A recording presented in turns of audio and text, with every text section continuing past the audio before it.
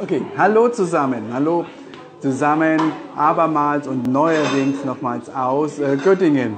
Ja, äh, ich habe heute einen sehr netten Kontakt getroffen, heißt Aldo Peruaner, hier in Göttingen leben und Experte für viele Dinge. Für was ist er Experte? Für äh, Gastronomie, kocht selbst und äh, sowie für, ich würde sagen, Pflanzenheilkunde, aber in, noch viel mehr auch für Kultur. Und wir hatten schon tolle Gespräche und Kon Kontakte, die er in Peru hat äh, im Bereich, äh, ja, würde man sagen, Kultur, Schauspiel, aber auf der anderen Seite auch wieder Naturwissenschaften mit sehr viel Erfahrung. Hier in Göttingen, ich bin im Café Bar Inti. Ich habe euch, ich habe äh, im Text die Homepage äh, hinterlegt. Äh, es heißt Inti und alle, die eine Nähe zu Peru haben, wissen natürlich, was es bedeutet. Mhm, klar, äh, Inti Sonne. Guido, hallo Guido. Äh, es hat geklappt äh, mit Aldo. Schön, dass du zuschaust. Äh, Aldo sitzt neben mir, aber heute sagt er, ist nicht sein äh, Live-Videotag und das respektiere ich. Aber ich darf seinen Namen natürlich nennen und was ich erlebe. Also Guido, schön dich zu sehen. Trine ist auch dabei. Hallo Trine. So, äh, das Café hier in äh, Göttingen ist, heißt Indie, aber es ist kein peruanisches Café. Kein peruanisches Café, kein peruanische Bar. Das infolgedessen gibt auch kein Bisco hier. So, aber was ist das? Und die, die Kenner der Prä-Inka-Kulturen wissen das äh, Zeichen hier hinter mir, was es bedeutet, die Hunuko, die Kultur. Ähm, hier auch das Gemälde und hier das bekannte Dor, Sonnendor ist das halt, ne? Ja, ja. ja. Äh, mit dem das, äh, Alpaka, hier und äh, Alpaka das? Äh, Yama wird das sein. Ja, aber es ist, dann löse ich es auf, es ist äh, ein bolivianisches Lokal, genau, bolivianisches Lokal und das an der peruanischen Kultur am nächsten liegt. Also ich habe Mexikaner gesehen, Aldo hat mir Spanier gezeigt. Ich war heute. Zeigen, kein Problem. Ja, okay, also er sagt, das ist, das ist okay. Hier ist Aldo, ja, seit 35 Jahren äh, in Deutschland und Experte. Ähm, hier ist das Zeichen des Restaurants Inti, die, die Getränkekarte. Ähm, und Aldo ist, ist Experte, also wir haben uns heute. Äh, du, du kannst ganz viel, oder? Es ist vielseitig. Ne? Ja, darf ich nochmal rum? Aber ja. es ist, ähm, ja, sind verschiedene Bereiche, dass ich in, während das Leben, also meine Existenz hier in, in Deutschland und in, in Peru, ne? ja. verschiedene Aktivitäten und deswegen kann ich äh, ja, eine, eine Chronik von, von diesen vergangenen Zeiten ja, ja. aktuelle. Ne? Becker ist dabei, Becker ist aus Trujillo. Becker Alvarez, hallo Becker. Okay. Und das ist ja deine, deine Stadt, aus der du bist. Trujillano, wo in Lima no, geboren, no, no, aber Trujillo deine Familie. Ja, ja, zum Teil. Zum Teil, okay. ja. Hier haben wir die, ja, das, die Holunderpunch. Holunder Punch, das Punch, ist so ähnlich wie Punch, Chicha Punch. Holunderpunch trinken wir und das ist so ähnlich wie Chicha Morada. Ja, ja Chicha Morada, aber in heiß. Heiß, ja. es, es, sieht auch genauso aus in heiß, da bin ich gespannt. Gut. Eigentlich wäre ja. ungefähr die, die Sauco in Peru. Sauco, den Baum. Okay. Ja, das wäre die Holunder in die Richtung. Ja. Ja. Die, die, die, die, nächste, die Pflanze die so ähnlich ist. Ne? Ja, Thomas Kreuzmann hat gerade geschrieben, hallo Thomas, äh, kommt auch aus Trujillo. Äh, die Geschichte mit Thomas, Thomas ähm, Peru hat er gegen Deutschland gespielt. Äh, Fußball-Länderspiel und ähm, ich war auch dort gewesen auf dem Weg dorthin in Mannheim. Mhm. Äh, peruanischer Fan und ich habe ihn angesprochen, das ist Thomas. Er wohnt in Ulm, ist glaube ich auch Musiker ja. und seine Mutter ist aus Trujillo und ja. Vater aus, aus, Deutschland und hat sich dann entschieden, als junger Erwachsener nach Deutschland zu kommen. Äh, schön, dass du dabei bist, äh, Thomas. Also Becker ist aus Trujillo, Thomas ist aus Trujillo, du hast auch eine Nähe zu Trujillo, oder? Ja, ja, ja. Eine, eine kleine Verbindung. Eine kleine, kleine Verbindung, ja. ja. ja ist eine das nicht ja. Ja, gut. Ja, also viele aus, meiner, aus meinem Netzwerk, die dabei sind. Und übrigens, ich hatte, wie habe ich Aldo kennengelernt? Ich habe in der Peru-Gruppe Hannovers gefragt, gehört Göttingen auch dazu? Das wurde ja nicht richtig verneint, aber nicht richtig bejaht. Sagen wir, glaube ich, Göttingen ist gut toleriert in Hannover und sagte, ich bin in Göttingen, der eine oder andere weiß es, hat es mit, mitverfolgt. Ich absolviere gerade die Ausbildung zum interkulturellen Trainer die findet in Göttingen statt, weil es hier ein Institut gibt, das ausbildet und zertifiziert. Und sagt, okay, welche Peruaner kann ich treffen? Und hat sich niemand gemeldet. Niemand. Und dann hatte ich freundlicherweise Guido, der auch schon mit dabei ist und heute zuschaut, er hat mir den Tipp gegeben, ich kenne jemanden, das ist Aldo, und ich schreibe ein SMS. Und das hat wunderbar geklappt und heute sind wir sind wir zusammen. Hallo Jörg, Jörg Bräutigam ist auch dabei. Schön, dass du dabei bist. Ja, so die Geschichte äh, in Göttingen äh, und mit, mit Aldo, der ganz viel zu erzählen hat, sagt er schon, zu Kultur, zu Gastronomie, zu Naturheilverfahren, würde ich auch sagen. Das ist auch etwas, wo du mich beschäftigt. Also wir sprachen über meinen Aufenthalt in Madre de Dios in Puerto Maldonado. Mhm. Und ich, ich, durfte, ich konnte ihm Bilder zeigen von Flugzeug, äh, ausgemacht. Alles, das eine ganz grün, das andere leider sieht man illegale, illegale Goldgewinnung, die Zerstörung und eben auch die Auswirkung auf den Fluss ja. und auf die ganze äh, Flora, was Flora. sehr, sehr traurig ist auch. Ja. ja. was gibt es noch zu sagen, Aldo? Wenn dich jemand... Äh, ja, wir sind hier die, eine, die, die größte äh, Universität in Deutschland. No? Ja, in Göttingen. Eine, eine Göttingen ist ja, ja, schon. Ja, ist in, in die 28.000 Studenten. Ach, also sehr schöne Innenstadt, kann ich jedem empfehlen, hier mal äh, Stopover zu machen, anzuhalten, durch die Innenstadt zu bummeln und zu laufen. Sehr viele Fachwerkhäuser, Kopfsteinpflaster. Es ist schon ein gutes Publikum, finde ich, gut gemischt und sehr, sehr ruhig, sehr gutes Essen auch. Und ich hatte heute Mittag ja ein Video aus Condigo. Condigo, die, der Händler, hat seinen Hauptsitz hier in Göttingen. Und du kennst ja den, Ingo Herbst auch persönlich. Ja, ja, ganz ja. auch. In, in, in die Grundzeit seine Unternehmer Contigo. Ne? Ja.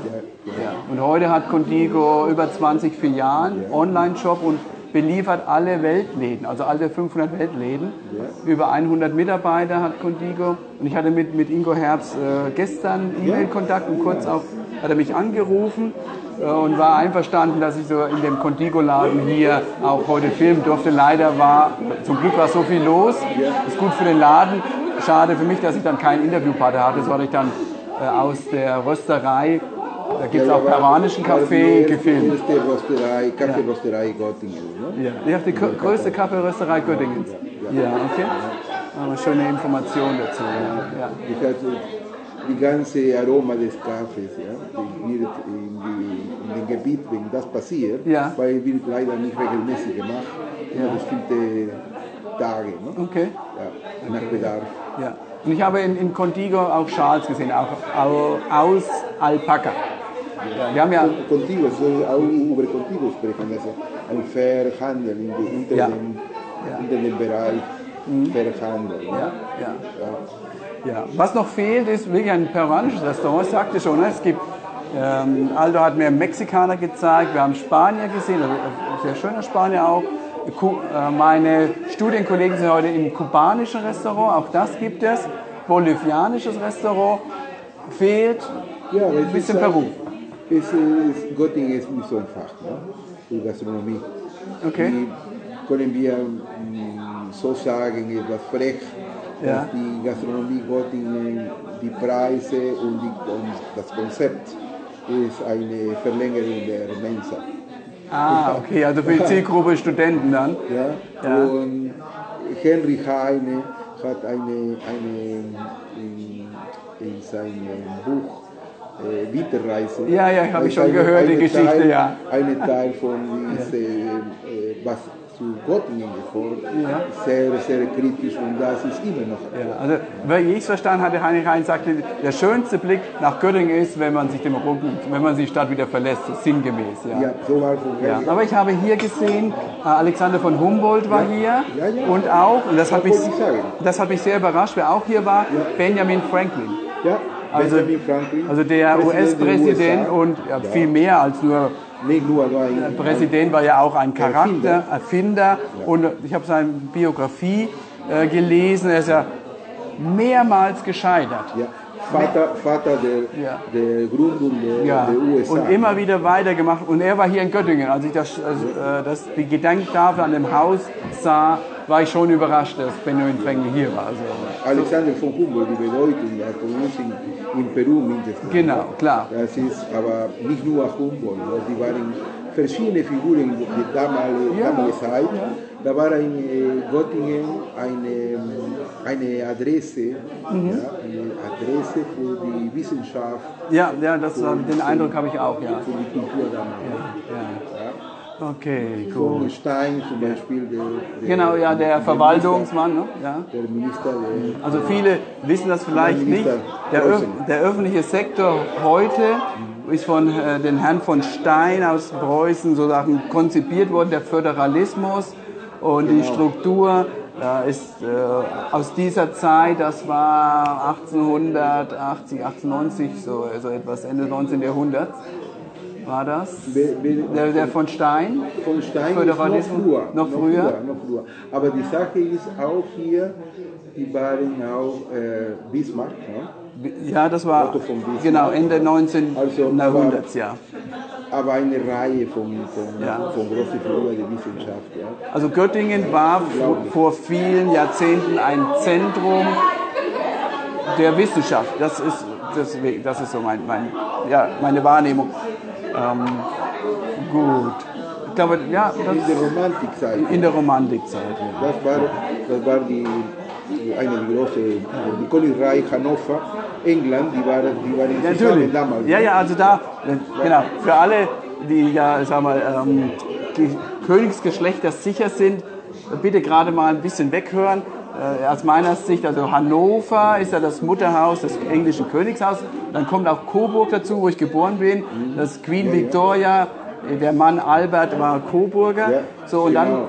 wer, jetzt mache ich den Schwenk gerade zu der aktuellen Situation. Ähm, vor einiger Zeit gab es in, in Lima eine große Hochzeit, die auch durch ne? genau, der hannoveranische Prinz hat in ähm, eine äh, Limeña geheiratet und zwar aus dem Verlag in Barranco. Große Feier. Aber das ist von, dem, von, Hannover, ne? Ja, von Hannover.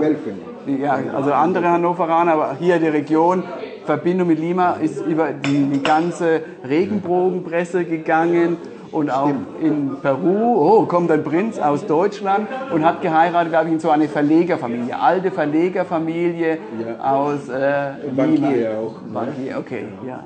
Ja, für alle, die Zuschauer, also Juan ist dabei, Dimo, schön, dass du nochmal dabei bist heute und viele andere live aus Göttingen, aus dem Café Bar Inti, jedoch äh, bolivianisches. Ne? Deshalb, äh, Che Guevara ist hier im Hintergrund, das ist, ja, das ist Hintergrund, Prä-Inka-Kultur, ihr kennt das. Äh, und äh, da es kein peruanisches Restaurant gab, ähm, sind wir hierher gekommen und ich habe noch etwas dabei, das ist gut. Ich habe noch etwas dabei, was ich auch immer bei Peru Community Treffen dabei habe. Das ist die Fahne. Muss ich gerade äh, hier. Guido, hallo, schön. Ich habe Aldo getroffen. Guido, der jetzt gerade nochmal dazugekommen ist und Hallo sagt, er ist sozusagen der Auslöser. Das, das, das, das erinnert mich an der, wie heißt dieser Film, die Wunder, äh, Welt von Amelie. Ja. So, hier, Leute, da nochmal, ja, das, jetzt hier, äh, die Peru-Fahne dabei, äh, darf man das zeigen, 33 Geschäftsideen, das geht an Alto Und das ist sozusagen das Community-Treffen in Göttingen. Aber Aldo hat mir verraten, es gibt noch mehr Peruaner, nur die konnte ich gerade nicht erreichen. Hier, Guido sagt, saludos y que las sigan pasando bien. Ja, sehr gut, Guido. Dankeschön, Dankeschön. Ah, Hannes ist auch dabei. Hallo, Hannes. Ja, live aus Göttingen, aus der Café-Bar Inti. Peruan, äh, bolivianischer äh, Café Peruaner gibt es noch nicht. Und wir sehen uns demnächst wieder an dem nächsten Ort. Viele Grüße an alle. Nach Peru, nach Deutschland und wo auch immer ihr gerade zuschaut. Danke. Tschüss.